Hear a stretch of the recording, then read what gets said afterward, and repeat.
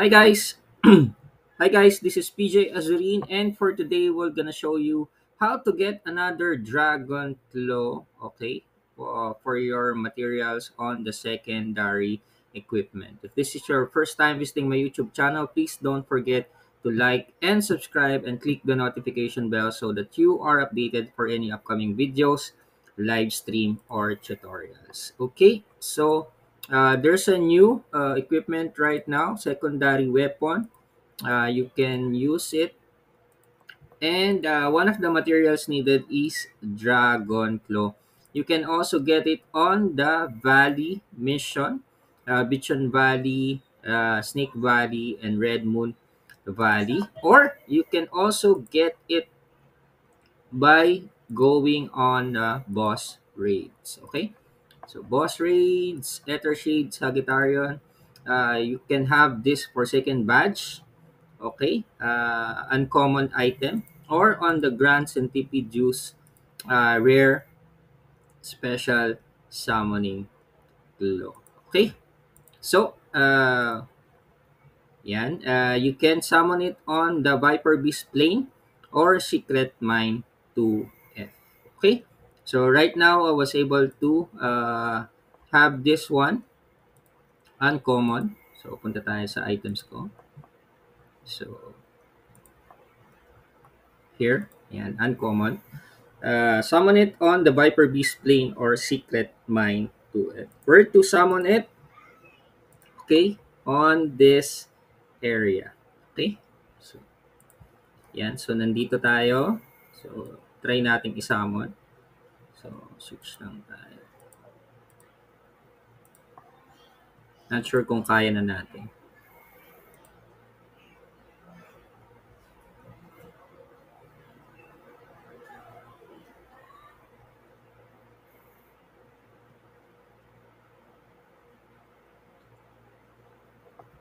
Okay. So, ito na siya.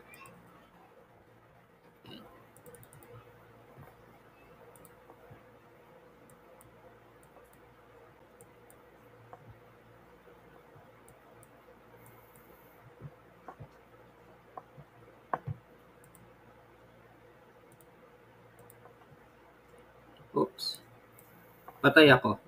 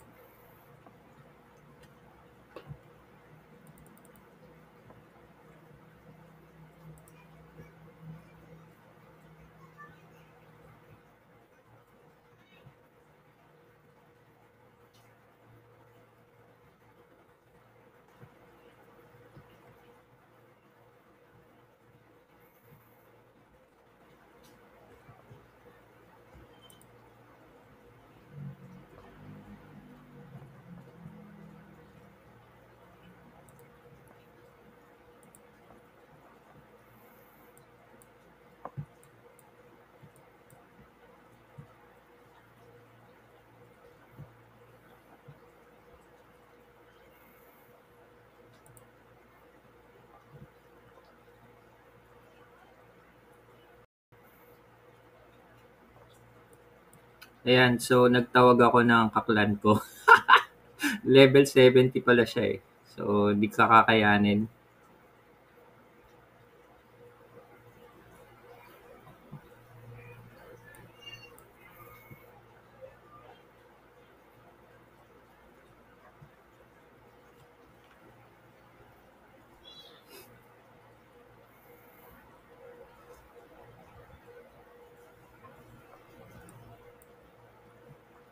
So, shoutout tayo sa clan natin, sa Hold, uh, EU43, Jai Burns, 29, and Rajon Andre.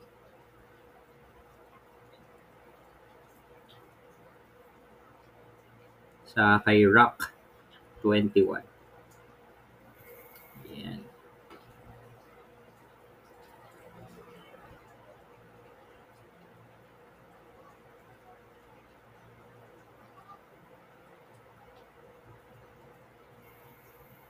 Otakaw PH.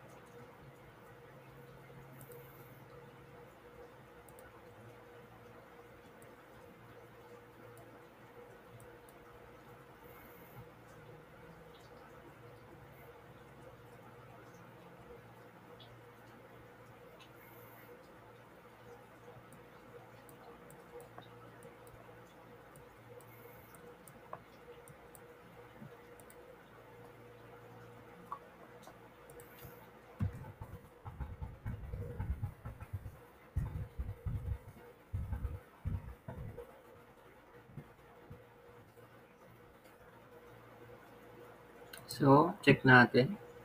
Ah, ito. Hmm.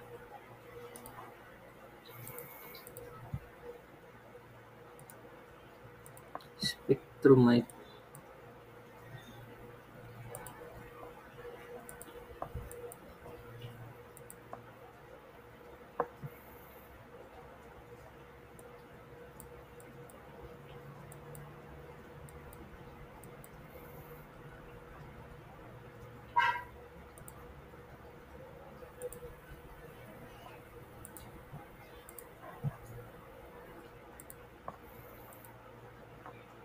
Wala.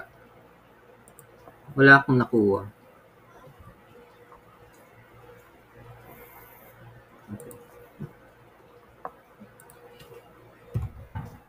So, yung kasamahan ko yung nakakuha.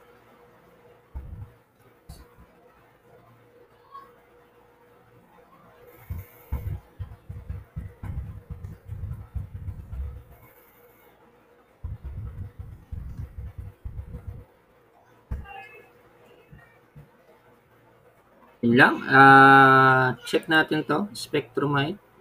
Saan, saan nakukuha? Hmm. Spectrumite.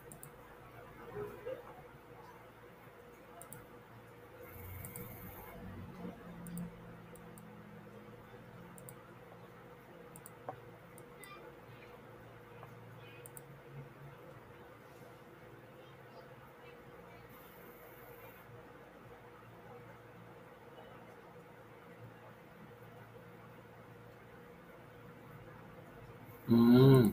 Magic stone.